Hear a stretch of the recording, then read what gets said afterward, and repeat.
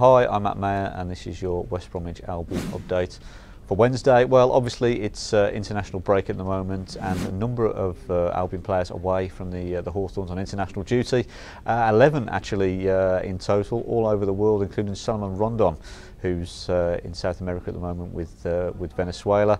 Uh, but the man behind me, Gareth McAuley, is one of three Albion players uh, on duty with Northern Ireland. Well, we hope three. Uh, Jonny Evans still being assessed by the club and uh, they'll make a late decision tomorrow um, whether he'll be fit to play with a, after suffering a hamstring injury on Saturday.